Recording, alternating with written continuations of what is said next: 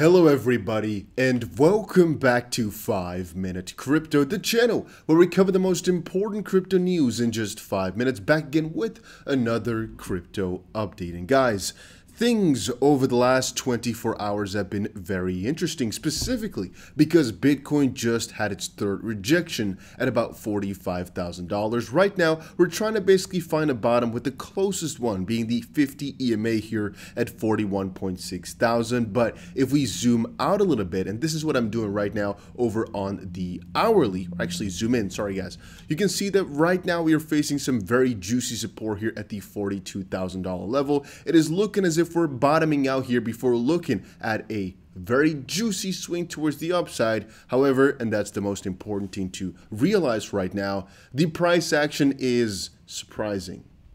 For example, take a look at the price action from the last couple of days. Over on March 2nd, we first had a false breakout towards the downside before having a recovery slash false breakout towards the upside before coming right back into the little triangle before. You can see what I'm trying to say here, guys. It's been it's been it's been playing around with our emotions for a good little bit. Now you can definitely try to restructure this a little bit to fit your needs if that's something that you're interested in to potentially make it look like this. I would definitely still say this suffices, where it actually broke out towards the downside. But even if we were to build this structure, it never had a proper downside confirmation. As you can clearly see here, it just broke out towards the downside uh, for just one candle. However, the next candle was bullish again, and the next couple of hours, again, the price action was not necessarily showing anything too decisive, except for this retest here of the quote-unquote resistance at about $44,000 to the dot. Uh, you can see that's basically the point where the trend line uh, hits and the resistance is found before breaking down towards 42,000. And right now, what it's looking like is that we're going to be building ourselves all the way back up, supposedly, to this little resistance that we faced uh, just now. So at about $44,000 or even a little bit higher.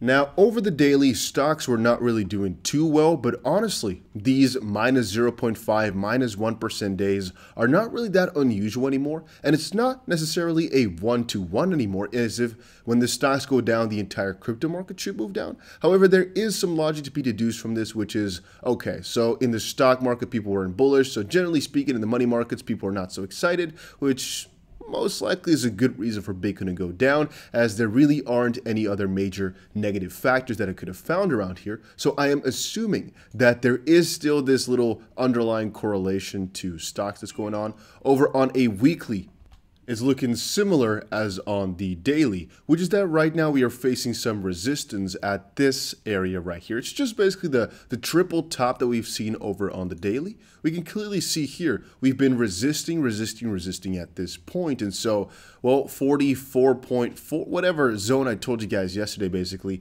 since we didn't break out towards the upside, which again would have looked like this, basically a bullish candle with a confirming candle afterwards. We shouldn't have taken the long position here. And yesterday I showed you guys Martini guy who was going long, which was some wishful thinking because since we did not break through, you shouldn't take the trade. And so anybody who did take a long position, let this be a lesson. It is sometimes the wishful thinking that gets you burned all the way because you are hoping that we're finally going to break through. Things are looking like it, but it just doesn't have to follow that. We only trade if there's proper confirmation. And right now, again, what is looking like is that we're going to be forming a bottom at $42,000 and going to have a skyrocket back all the way towards $45,000 before breaking through this time.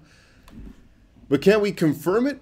No. And so if we want to make a proper trade, the way we have to do it as it currently stands is look at, okay, what different cryptos can we really trade? XRP, well, it is still trading its little demand zone slash supply zone for XRP right now. It's hard to say where this is going to head except for the fact that it broke out towards the downside just a little bit, uh, kind of bounced off of the uh, moving average before coming back in. And there's a good chance we're going to just trade sideways until something happens in Bitcoin. Again, guys, on the short term, I'm still expecting XRP to hit 86 cents, very, very short term. But for Bitcoin, what our plan is going to be is even right now already, I'm honestly saying we can try take the quote unquote gamble and just get ourselves from $42,000 all the way back up to at least 44.4 with a stop loss I would say at about 41.5 or so. Um, and I guess we can just kind of hold on to that because if the stop loss gets hit, there's a very high probability we're going to be moving downwards a little bit lower to about $40,000 anyway. Uh, but there's a very good chance that this was a nice bottom that we're forming and we're going to be moving up. And at some points, it's worth to take that risk, partially because whenever I check all the other YouTubers, the majority of them were saying, oh, the bull season is finally, but bull season is finally. Well, it's not been confirmed, but it's looking as if we are, again, over on a weekly, making these this first higher low of, of sorts, and so we're finally going to start moving back upwards. And I, I, I'm just honestly thinking here on the weekly here we can definitely close on a lot of different points, but call it wishful thinking, but it's a little hunch that we are going to just kind of bounce back from here.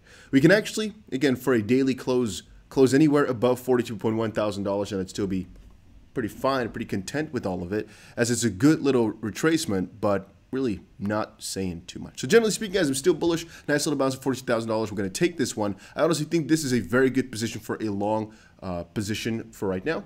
And uh, that was it. Make sure you check out Bybit. Link is down below. There's some crazy bonuses. And I'll see you guys again in another video later today. Now, finish advice.